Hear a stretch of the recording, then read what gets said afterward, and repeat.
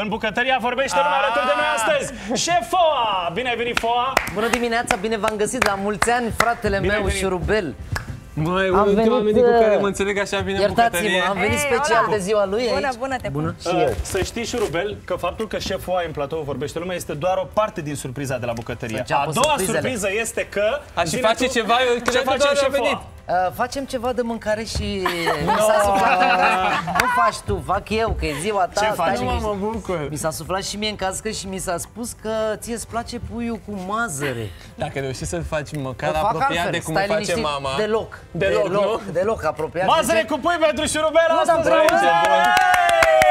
Asta e un alt fel de pui. Îl cheamă în franceză cochele. Ah, Un cochele, mic l-am auzit. cocheș de la e o altă A jucat special. la, a jucat la Paris Saint-Germain. Da, și o să-ți fac uh, niște mazăre de-astea deep fry cu puține capere, adică o să-ți fac ceva Tu surprinzător. reinterpretezi mazărea cu nu pui neapărat, astăzi? pur și simplu o să mă joc cu ea. Dar de ce stă la uh, odihnit mazărea acolo? Și cu celelalte ingrediente. Ce nu, faci încerc acolo? să o tamponez așa, să scot umezeala E din la ea. spa. E la E spa. E la mazăre la spa, spa. aici, la relaxare. și pentru că, na, mazărea încă nu e în sezon, e de foarte mică. Și atunci o folosim pe asta de asta vară pusă la congelator Foarte bine. și cu asta basta. Fă, mă Uh, bucur atât de tare că ai venit. Știi că ești un om pe care îl apreciez extrem de tare și sunt super curios ce faci pentru că de fiecare dată când te joci în bucătărie iese magie. Mulțumesc, mi-am adus și tigaia special ca să iasă cum trebuie. Am Abia ce aștept. tigaie e bună. E O lași și aici după ganteră. aia, sau? E și N-aș ganteră. putea, pentru că e de la soacra. Ridic și puțin, te rog. doamna, uh, soacra mea mi-a Da, dat e o foarte împrumut, tare. adică Tu trebuie să o dau faci, înapoi. Deci avem o, da, o tigaie tigaie. de, de fier turnată, îi se mai spune fontă cast Dar iron de ce în e engleză. important să ai tigaie de fontă? Și de ce? Pentru că ține mai multă căldură, magazionează căldura, asta are obiceiul de a scăpa de mâner.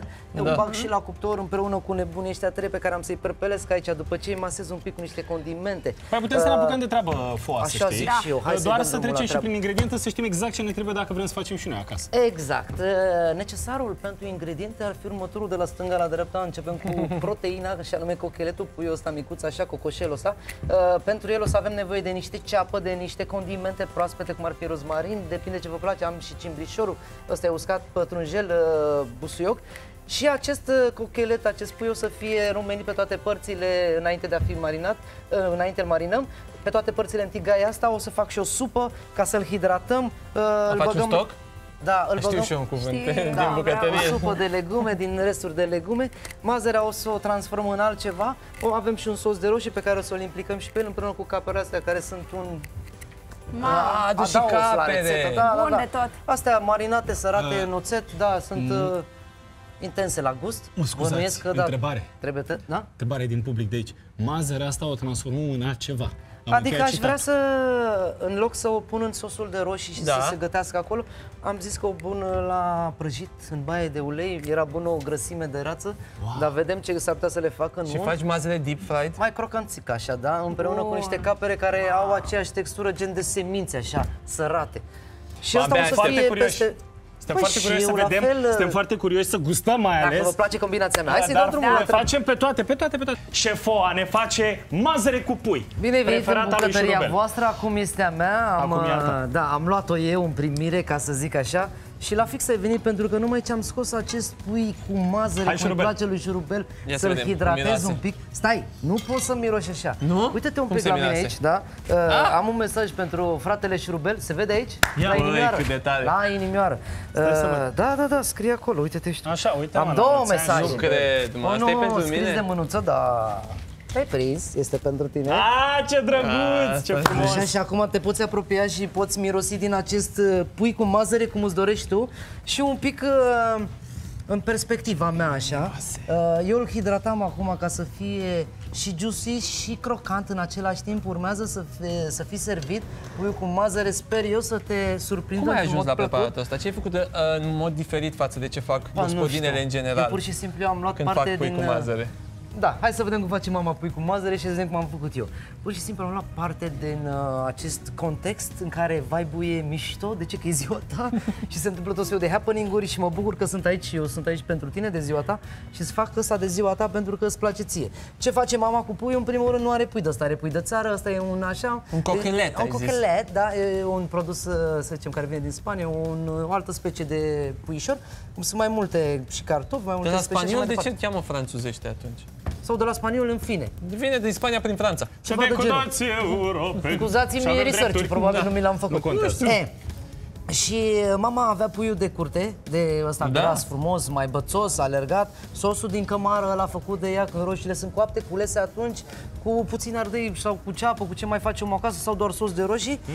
Uh, mazărea, în sezon, dacă e sezon, dacă nu e sezon, o scos pe aia din congelator, Păi, da. pe care tot ea cules-o Cum am din făcut și grădină. noi. Exact. E, și uh, ceapa, morcov, eu am făcut un stoc de pui după ce am uh, curățat de la, uh, acest, uh, de la această pasăre, chestii care te-am crezut că sunt inutile, să nu se vadă nici uh, urât în farfurie, plus uh, resturi de legume, această zeamă am hidratat. făcut o supă. Am făcut și un stoc, da, de așa am hidratat cocheletul, i-am dat față, l-am pus în Pregătim asta. farfurile Stai frumos. un pic, am ceva aici, Stai pregătim un și pic, farfurii. foa. Stai un pic, că revenim la tine și ne arăți când revenim. Facem și plating-ul, ca la carte. Cum vrei tu. Aranjăm masa frumos și îți promit că revenim la tine. Pentru că și pe tine, Cerasela, cu echipamentul, siguranță. Echipamentul e aici, lângă tine. Aici. Păi am Uh, lăsat Îl avem aici. pe șeful astăzi alături de Vai, noi. dragilor, uh, o plăcere de-a dreptul, o plăcere să fiu în plăcere, prezența ta șef. și în prezența lui Șurubel, dar și a ta, Echipamentul. bineînțeles. La mulți ani, încă o dată, nu te juca cu opera de artă. Uite ce ai făcut. Fă-l un O pachetat. mai fac o dată. Așa, astăzi E o uh, plăcere să gătesc preparatul preferat. ai, uh, ai promis, da? Preparatul preferat al Mai lui abia aștept să Șurubel. mănânc. Se cheamă Doamne. pui cu mazăre și l-am făcut cum am avut eu chef. De ce să te minți? Acum, Băi, în stil foa, Ce era să mai sigur facă? e bun. Așa, uh, pe care îl vrei?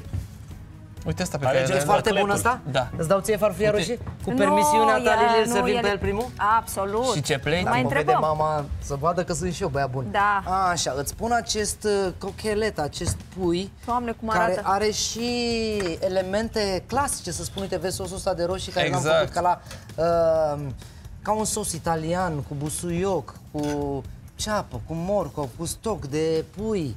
E, asta este partea aia, cum se cheamă, tradițională, pe care eu cred că ai regăsit-o și în mâncarea mamei tale.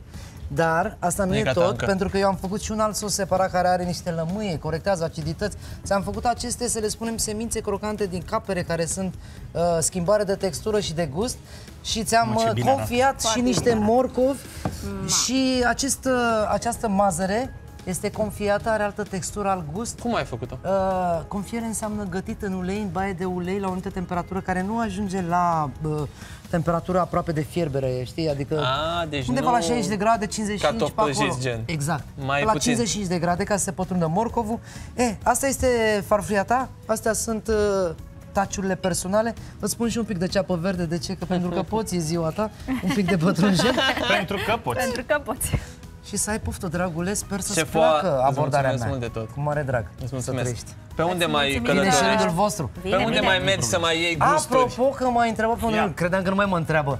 Uh, și eu sărbătoresc în acest weekend o zi de naștere. Uh, face un an de zile restaurantul de la Cluj-Napoca și sunt acolo ce să gătesc bravo. ca să nu zic pe nume că să supără lumea Deci după ne aia. vedem la aia, Să se cheamă supără. Bruto, by the La way. mulți ani, Bravo, la mulți by ani. the way. La mulți ani. Mulțumim, Mulțumim. frumos, uh, Te șeful. vezi cu oamenii la Cluj, da? Da, sunt la Cluj weekendul acesta, lăsați-mă și pe mine, vă rog frumos, am venit pentru ziua lui și pentru acest anunț important, sunt cu prietenul meu, uh, Radu Dumitrescu la Cluj și gătim împreună la restaurantul ăla minunat care face un an de zile. Hai și tu, hai și tu, hai și tu, hai și Nu, tu. hai, zi, nu, Hai hai și și voi. voi. No, No, hai și voi, măi. Șeful, azi mulțumim frumos. Cu adevărată Șurubel. plăcere. Mulțumim. Lasă farfuria pentru mulți ani. voi acum? Stai că vă dau și Lasă vouă. Uh, imediat